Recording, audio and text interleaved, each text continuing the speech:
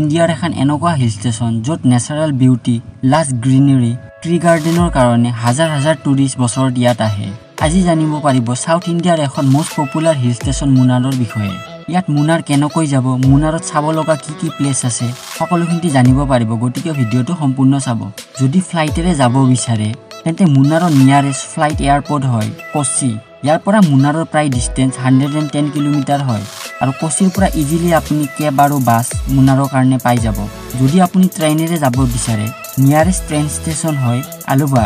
ইয়াৰ পৰা মুনাৰৰ ডিষ্টেঞ্চ প্ৰায় হাণ্ড্ৰেড এণ্ড এইট কিলোমিটাৰ হয় আৰু আলুবাৰ পৰাও ছেম বাছ আৰু শ্বেয়াৰ টেক্সি আপুনি পাই যাব। আৰু বাই ৰোডেৰে যাব বিচাৰিলে চাউথ ইণ্ডিয়াৰ সকলো ঠাইৰ পৰা মুনাৰলৈ ইজিলি বাছ পোৱা যায়। মুনাৰৰ মেইন এট্ৰেকশ্যন হয় তাত থকা ধুনীয়া মাউণ্টেইনবোৰ আৰু তাৰ টি গাৰ্ডেনবোৰৰ কাৰণে। এতিয়া মুনাৰ গৈ পোৱাৰ পাছত মুনাৰৰ চাব লগা প্লেচবোৰ। আপুনি ফাৰ্ষ্ট মুনাৰৰ টপ ষ্টেচন যাব পাৰে। টপ ষ্টেচন মুনাৰৰ হাই পিক পইণ্ট হয় আৰু টপ ষ্টেচনৰ পৰা বহুত ধুনীয়া ভিউ দেখা পোৱা যায়।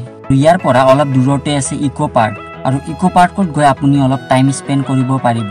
ইয়াৰ নেচাৰেল বিউটি বহুত ধুনীয়া হয়। তাৰ নেক্সট যাব পাৰে আটুকাল ৱাটাৰফল এই ৱাটাৰফলটো মুনাৰৰ বহুত ফেমাছ হয় আৰু বহুত টুৰিষ্ট এই ৱাটাৰফলটো চাবলৈ তালৈ যায়।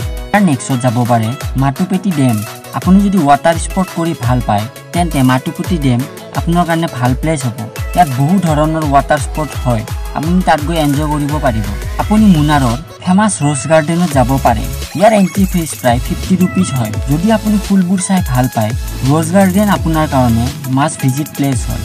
ইয়াত বহু ধৰণৰ আৰু বিভিন্ন প্ৰকাৰৰ গোলাপ ফুল দেখা পোৱা যায়। তাৰ পাছত যাব পাৰে মুনাৰৰ ফেমাছ কুনলা লেকত। এই লেক ডেন্স ফৰেষ্টৰ মাজত আছে। আৰু ইয়াৰ চিনিক বিউটি বহুত ধুনীয়া হয়। আৰু তাৰ নেক্সটত মুনাৰৰ পৰা প্ৰায় ফাইভ কিলোমিটাৰ ডিষ্টেঞ্চত আছে পথামেদু ভিউ পইণ্ট এই ভিউ পইণ্টৰ পৰা আপুনি মুনাৰৰ টি প্লাণ্টেশ্যন কফি গাৰ্ডেন সকলো ভালকৈ দেখা পাব। আৰু ইয়াত গৈও আপোনাৰ বহুত ভাল লাগিব। মুনাৰত গ'লে আপুনি ইডলি ধচা খাব নাপাহৰিব। এই চব ফুড তাতে। ৰিজনেবল প্ৰাইজত পোৱা যায়। ইয়াত আপুনি সকলো টাইমতে যাব পাৰে। কেৱল মনচুনক এৰি আপুনি বছৰৰ সকলো মাহতে যাব পাৰিব। এয়া আছিল মুনাৰৰ ভ্ৰমণৰ কাৰণে জানিবলগীয়া সম্পূৰ্ণ টুৰ ইনফৰমেশ্যন আজিলৈ কেৱল এইখিনিয়ে। এনেকুৱা ধৰণৰ বিভিন্ন প্লেচত টুৰৰ বিষয়ে জানিব বিচাৰে আৰু যদি ভিডিঅ'টো ভাল লাগিছে এনেকুৱা ধৰণৰ ভিডিঅ' চাই ভাল পায় তেনেহ'লে চেনেলটো লাইক শ্বেয়াৰ আৰু ছাবস্ক্ৰাইব কৰি দিব।